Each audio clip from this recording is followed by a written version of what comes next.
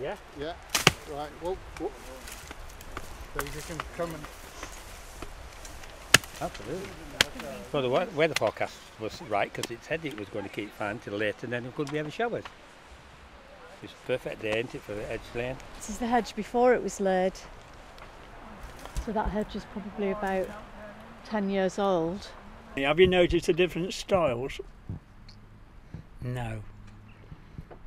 If you look at mine and the expert, we're Midland style, stakes and binders. So that's your layer, that's your pleacher, and he's laid it at a roughly 45 degree angle because this is a Midland style bullock fence. And in the days of hunting and what have you, um, the hunter would come along and jump this, and this is why you need a, a good brush on the hedge to make the horses pick the feet up. Up there you've got Derby style, the second one, and the third one is the south of England. So there's, there's about 15 different styles. This is the only competition where you, don't, you can't use chainsaws. Oh, what's the matter? This one here is back heeled. It's one of the biggest no-nos in hedge laying. To, to do that is just about one of the criminal things that you can do in hedge laying, unfortunately. It's been going around for at least 2,000 years. We want to keep it alive, so we do need some young people. You know, you look at the average age of these hedge layers here. You know, where are the young people coming in? I believe there are one or two in the novice class, but we, we need a lot more.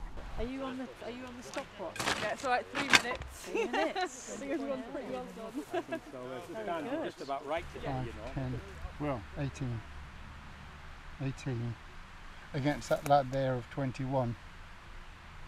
Yeah. So it's Yeah, been a fantastic it. day. It's a go. brilliant sight. And I'd just like to say a few words of thanks before I hand over to Bert Hunter.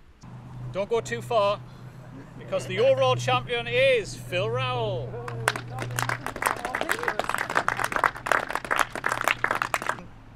When it comes down to it, uh, and we're looking for a champions and we're looking for firsts and seconds, there's so many small points in it which can decide it either way. It's been a lovely day, lovely sight, lovely weather. Um, and I think we've got some good competitors because we've got the Grand Prix this weekend, so we've attracted some of uh, England's best. I won two trophies and some money. So what will you do with Yeah. the money?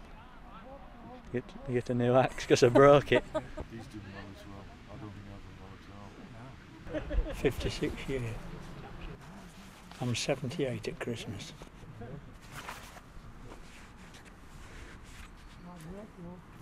Most people are dead.